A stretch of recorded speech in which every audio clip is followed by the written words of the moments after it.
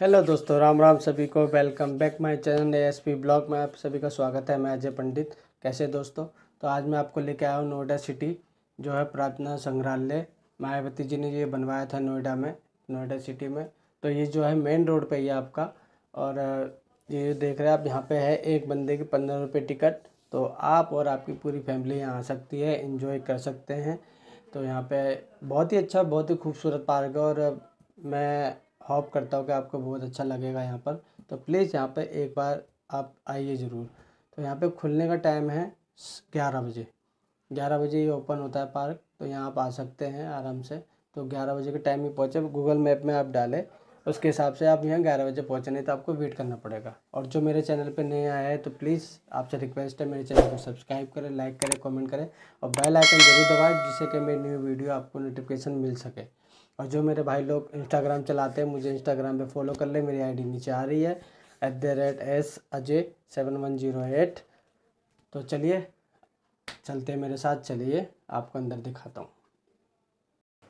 तो ये जो देख रहे हैं आप, सामने ये है नोएडा सिटी, सेक्टर अट्ठारह अट्टा मार्केट।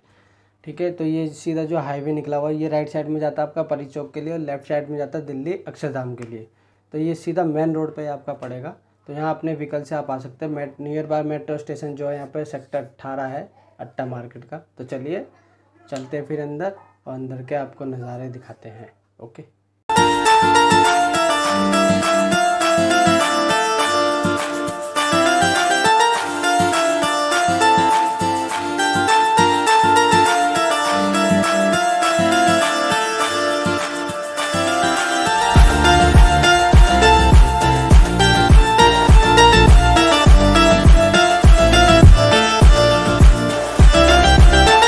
जैसे कि दोस्तों, यहाँ पूरी हिस्ट्री यहाँ की लिखी हुई है। राष्ट्रीय दलित प्रेरणा स्थल है ये। तो अंदर जाएँगे तो आपको यहाँ पे तीन मूर्तियाँ मिलेगी, जो कि है बाबा साहेब जी की, जिन्होंने भारत का संविधान लिखा था। और राइट साइड में आप जो देख रहे हैं, ये है काशी, श्री काशी राम जी, और ये लेफ़्ट साइड में है मायावती जी। तो इनकी तीनों की यहाँ मूर्ति मिलेगी अंदर। तो बहुत ही अच्छी और बहुत ही खूबसूरत मूर्ति बनाई है। जैसे कि आप जाएँगे तो आप पास देखेंगे तो आपको और अच्छा लगेगा। तो तो चलिए, अंदर फिर घुमाता हूँ मैं आपको। और देखिए इन्जॉय कीजिए।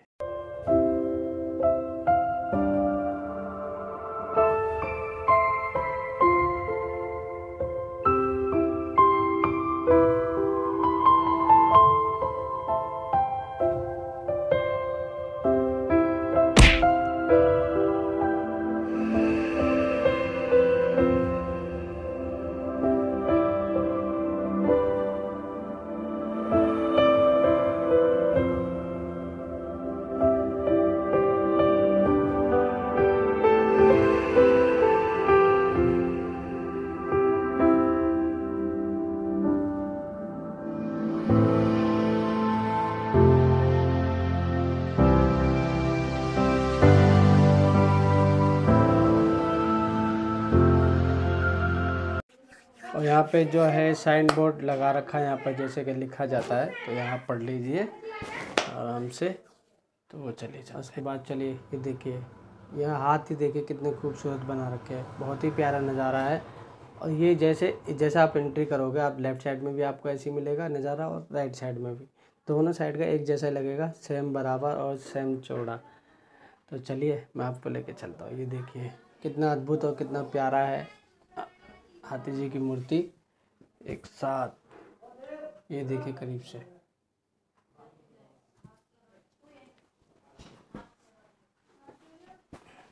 तो दोस्तों, जो भी मेरे चैनल पे इस पर आया नहीं नया प्लीज़ प्लीज़ आपसे रिक्वेस्ट है, मेरे चैनल को सब्सक्राइब करें, वीडियो को लाइक करें कमेंट करें शेयर करें बेल आइकन ज़रूर दबाएँ।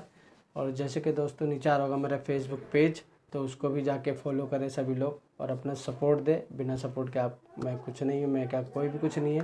तो प्लीज़ मेरी हेल्प कीजिए मेरे इंस्टाग्राम आईडी को फॉलो कीजिए, जिस पर मैं नए नए अपडेट डालता रहता हूँ। तो चलिए दोस्तों, जो भी है, नीचे फॉलो कर लीजिए, बाकी मैं आपको दिखाता हूँ। ये देख रहे, जैसे ये झरना पहले यहाँ पानी निकला करता था, लेकिन अब बंद कर दिया गया है, क्योंकि पानी वेस्ट ना हो, इसलिए। नहीं तो ये हाथी के सूंड में से पानी निकलता था यहाँ पर। जब मैं यहाँ ये बना बना था नया नया तभी मैं यहाँ घूमने आया था फैमिली के साथ। तो जब देखा था मैंने, लेकिन अब मैं आया तो अब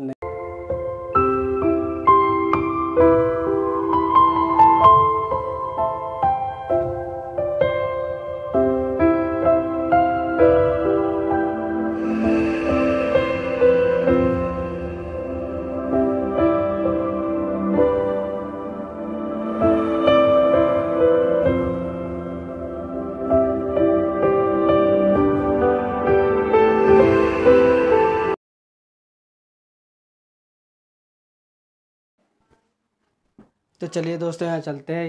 यह है ग्यारह मूर्ति जाने का रास्ता, जो यहाँ पे बहुत ही कम लोग जाते हैं। दो, बाकी लोग क्या करते हैं, वो जो आगे आगे का जगह होती है, जहाँ पे हाथी की मूर्ति बनी है एंट्री करते हैं सामने, और जहाँ पे मूर्ति बनी हुई तीन मायावती जी की और बाबा साहेब की, बस वहीं तक घूमते हैं। और यहाँ लेफ़्ट साइड में कोई नहीं जाता, क्योंकि यहाँ ज़्यादा लोग जाते नहीं हैं, क्योंकि सुनसान पड़ा रहता है ये। और यहाँ से कम से कम भी आपको इस लोकेशन से लेकर ग्यारह मूर्ति लोकेशन जाने के लिए आपको टाइम लगेगा, पंद्रह से बीस मिनट। क्योंकि ये पैदल पैदल दूर पड़ जाएगा बहुत ज़्यादा। तो आप पैदल चलते रहेंगे तो दूर बहुत ज़्यादा है। आप जाएँगे तो अच्छा भी लगेगा, चारों तरफ़ सुनसान शांति मिलेगी आपको। और जो ये देख रहे हैं, ये है फ्लाई ओवर सेक्टर अट्ठारह जाने के लिए, लेफ़्ट साइड में मेरे, ठीक है? और राइट साइड में पूरा जंगल है। तो ऐसे ही यहाँ पर है। तो यहाँ आप चलते रहेंगे चलते रहेंगे चलते रहेंगे तो आप ग्यारह मूर्ति पहुँच जाएँगे। तो मैंने वीडियो अधिक कट कर दी है, ताकि वीडियो लंबी ना हो। तो अभी हम यहाँ ग्यारह मूर्ति पहुँचने वाले हैं। मेरे राइट साइड पर मूर्ति पड़ेगी, जैसे आप देख रहे हैं, वो दूर देख रहे हैं ना? मीनार टावर से खड़े ये सब ग्यारह मूर्ति जाने के लिए रास्ता है। तो अगर हम वहाँ से आते हैं यहाँ पे आने के लिए आपको अपने व्हीकल से आना पड़ेगा। नहीं तो आप अपने व्हीकल से सबसे बढ़िया फ़ायदा या तो बाइक से या अपना गाड़ी से अगर आ, आना चाहते थे यहाँ पर। तो आप दिल्ली की साइड से आएँगे तो आप जैसे जमुना जी का क्रॉस करेंगे तो महा माया का फ्लाईओवर आएगा। उस पर फ्लाईओवर पर नहीं जाना उससे पहले आपको लेफ़्ट लेना है। लेफ़्ट ले, ले लेते एक नाले का पुल आएगा उसे क्रॉस करते लेफ़्ट में आपको देखना वहीं से स्टार्ट हो जाएगा ये पार्क। तो आगे जाके एक और फ्लाईओवर आएगा सेक्टर अट्ठा जाने के लिए लेकिन वहाँ नहीं जाना आपको उसको नीचे से क्रॉस करना है। क्रॉस करते ही आपको गेट दी जाएगा मेन तो वहाँ से आप टिकट लेके अंदर आप आ सकते हैं आराम। तो ये है मूर्ति सत साहिब जी की। यहाँ पे ये टोटल जो है ग्यारह मूर्तियाँ हैं और बाकी ये बुद्ध ये बुद्ध भगवान की मूर्ति है। और बाकी मुझे नहीं पता क्योंकि नीचे नहीं लिखा। अगर आप जानते होंगे तो प्लीज़ ज़रूर बताना। वैसे तो वाल्मीकि जी की यहाँ पर मूर्ति है। ठीक है दोस्तों, आप यहाँ पे आएँगे तो ज़रूर देखना और मुझे ज़रूर कमेंट में बताना किस किस की मूर्ति यहाँ पर। जितने मैंने पहचाने गए, इतने मैं बता रहा हूँ। बाकी कुछ यहाँ से छूट गई है। देख रेख नहीं हो रही है। ठीक है दोस्तों तो चलिए आप देखिए इन्जॉय कीजिए और यहाँ पे बाबा साहेब जी की मूर्ति मिलेगी। श्री काशी राम जी की भी मूर्ति यहाँ पर मिलेगी आपको। मतलब टोटल यहाँ पे ग्यारह मूर्तियाँ हैं। तो चलिए आप देखिए इन्जॉय कीजिए।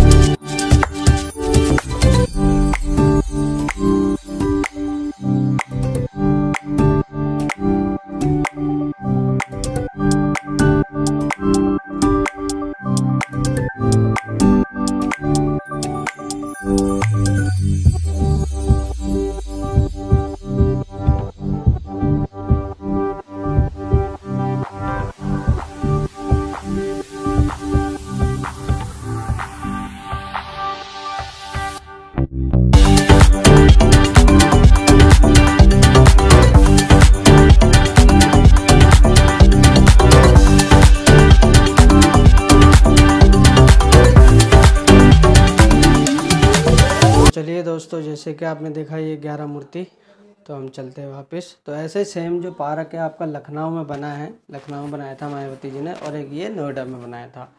ठीक है, दोनों ही उत्तर प्रदेश में है। ओके, ये है दिल्ली एनसीआर के टच में, और हम आ गए वापस वहीं पे जहाँ से हम गए थे। तो नीचे मेरी इंस्टाग्राम आईडी आ रही होगी तो प्लीज़ फॉलो कर ले आप लोग।